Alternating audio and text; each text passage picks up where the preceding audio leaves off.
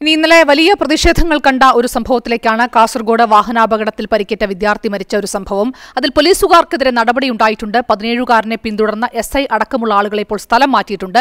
അന്വേഷണത്തിന്റെ ഭാഗമായി മാറ്റി നിർത്തിയിരിക്കുന്നു എന്നുള്ളതാണ് പോലീസിന്റെ ഒരു വിശദീകരണം. ഫൈസലുണ്ട് കൂടുതൽ വിവരങ്ങളുമായി. Faisal good morning.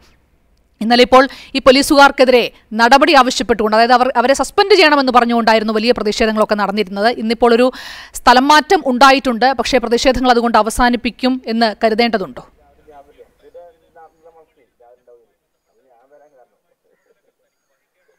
Shalini good morning. സൂചിപ്പിച്ച പോലെ തന്നെ എസ് ഐ രഞ്ജിത്ത് ഒപ്പം തന്നെ സിവിൽ പോലീസ് ഓഫീസർമാരായ രഞ്ജിത്ത് അപ്പം തന്നെ ദീപു എന്നിവർക്കാണ് ഇപ്പോൾ സ്ഥലം മാറ്റമുണ്ടായിരിക്കുന്നത്. ഇവരെ കാഞ്ഞങ്ങാട്ടെ ഹൈവേ പട്രോളിങ്ങിലേക്കാണ് നിയോഗിച്ചത് കിലോ ടൂവിലേക്കാണ് നിയോഗിച്ചിരിക്കുന്നതാണ് നമുക്കിപ്പോൾ അറിയാൻ കഴിയുന്നത്.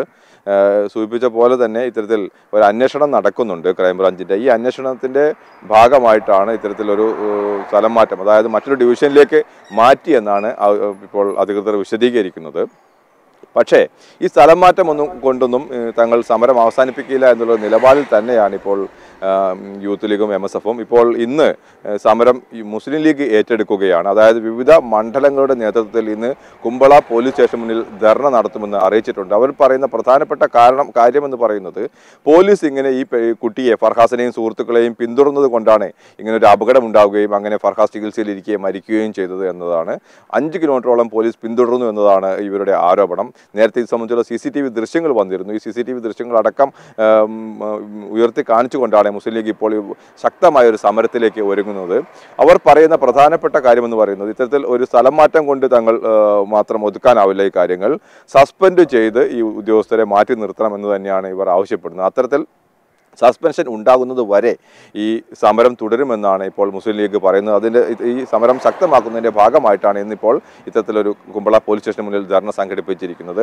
ഈ ഫർഹാസ് കഴിഞ്ഞ വെള്ളിയാഴ്ചയാണ് ഇങ്ങനെ അപകടത്തിൽപ്പെടുന്നത്. ഫർഹാസും ഒപ്പം തന്നെ കൂടെ നാല് സുഹൃത്തുക്കളും ഉണ്ടായിരുന്നു. ഈ പോലീസ് പരിശോധനയ്ക്കായി അവിടെ നിർത്തിയപ്പോൾ ഇവർ പെട്ടെന്ന് കാർ എടുത്ത് പോവുകയായിരുന്നു. അപ്പോൾ പോലീസിന്റെ വാഹനത്തിൽ ഇടിച്ചു എന്ന് പോലീസുകാർ പറയുന്നുണ്ട്.